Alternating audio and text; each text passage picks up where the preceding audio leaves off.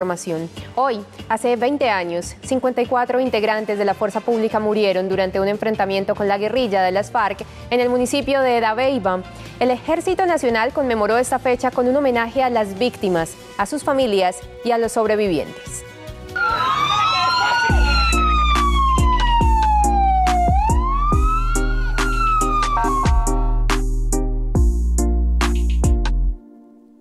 Este era el panorama en Dabeiba luego del ataque guerrillero de las FARC el 19 de octubre del 2000. Hoy, 20 años después, los militares sobrevivientes recuerdan los enfrentamientos en los que murieron 54 de sus compañeros. Recuerdo con tristeza siempre lo, duro que nos tocó vivir allá el 19 de octubre.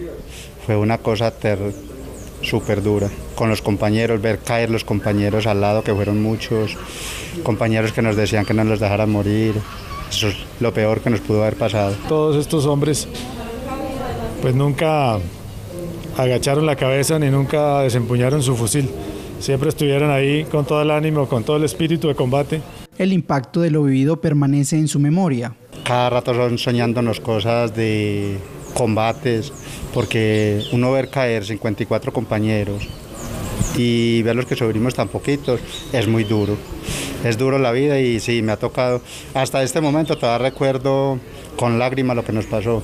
No se supera, es una cosa que siempre estará ahí, el recuerdo de, tanta gente, de tantas personas, de sus familias. Para conmemorar esta fecha, el Ejército Nacional homenajeó a las víctimas con un acto simbólico.